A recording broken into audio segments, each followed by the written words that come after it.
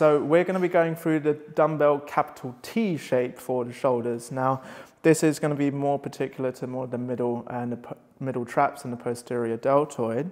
So Nereus is kind of setting up for a one arm row position. He's then going to lift his shoulder up slightly. And so he's getting a load of tension, squeezing his traps, squeezing his shoulder blades together. And then with the palm, he's going to be facing down towards the floor when he gets into that top position. He's going to raise his arm up, palm is facing to the floor, squeezing up here really, really tightly, and then slowly coming back down to the starting position, but without letting that shoulder drop down to the floor again. So shoulder up, lift the arm up, hold it for a couple of seconds and come back down. Try not to have the shoulder just relaxed and then lift up into that T shape. It's going to be working completely differently. Okay.